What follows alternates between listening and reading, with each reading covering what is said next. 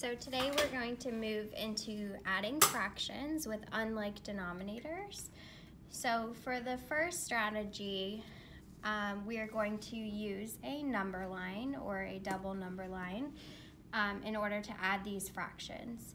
So for the first number, you're going to start with the top number line and I'm just going to show two thirds on that number line. So I'm going to do that by making this zero, this is one. Um, right here is one third, and right here would be two thirds.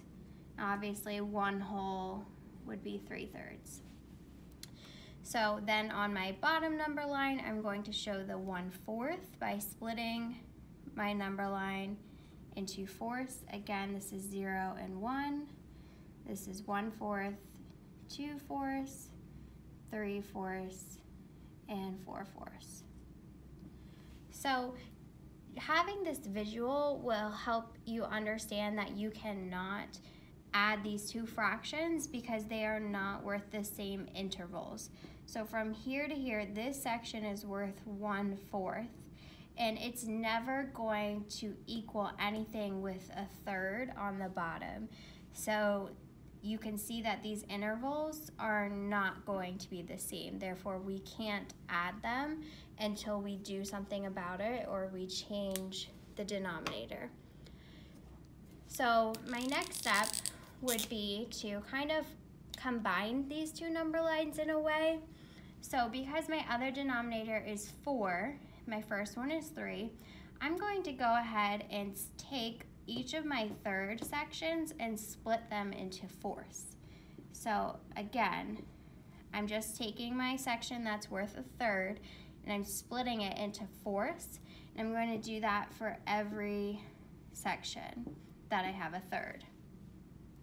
So then I'm going to do the opposite down here, and for every fourth section, I'm going to split that into thirds so that I can have even intervals now.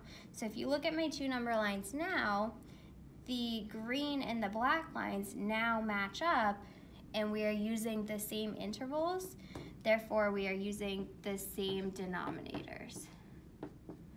Okay, so we're gonna change our fractions. So if we look at this and we count, I now have on each of my number lines 1, 2, 3, 4, 5, 6, 7, 8, 9, 10, 11, 12 sections of my number line. So my new denominator is going to be 12. Now in order to actually add the numbers, we are going to look at where 2 thirds is. I like to just make a little dot to note where that is. And we are going to add a fourth. So in order to do that, we could look um, from zero to two, how many twelfths did it take me to get to two thirds? So it took me one, two, three, four, five, six, seven, eight twelfths. So that's my new numerator for this fraction. And to get to one fourth, which is here, it took me one, two, three twelfths to get me to be equivalent to a fourth. So that's my new numerator there. So I'm going to combine these hops. So I'm going to say, okay, I can either add up here and say 8 plus 3 is 11, and my numerator um, becomes 11 and my denominator stays the same as 12, or I can just count how many hops I took. I took 1, 2, 3, 4, 5, 6, 7, 8, 9, 10, 11 hops